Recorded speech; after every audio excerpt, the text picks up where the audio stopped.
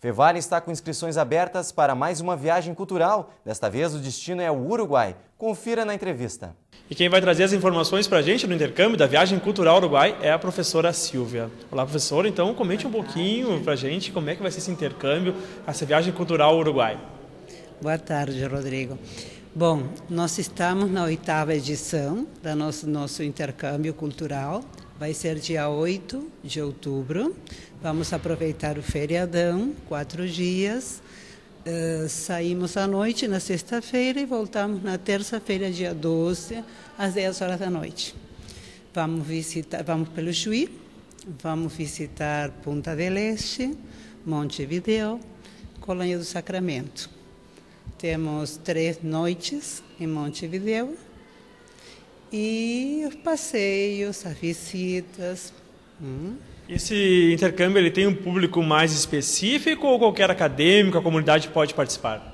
Bom, o público-alvo eh, são aquelas pessoas que têm algum interesse, alguma ligação com a língua espanhola, porque é uma imersão na cultura e na língua espanhola. Então, assim, o pessoal do turismo, das letras e do centro de idiomas é o público-alvo. Mas ele é aberto à comunidade acadêmica. Né?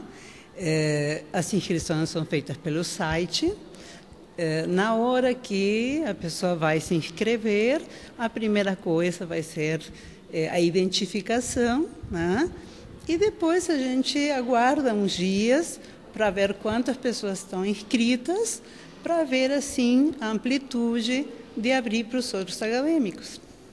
E fazer um intercâmbio sempre é importante, né? Porque está pensando em fazer um intercâmbio maior, de um mês, seis meses, que o Vale oferece tantas opções, né?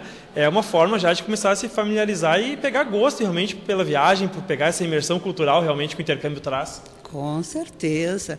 Além da língua, né?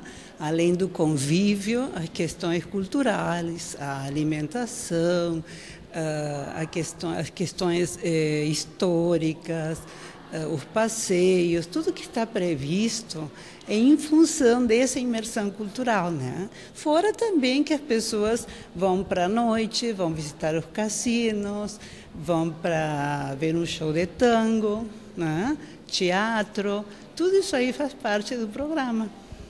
Obrigado, professora, pela entrevista. Boa tarde, eu te agradeço.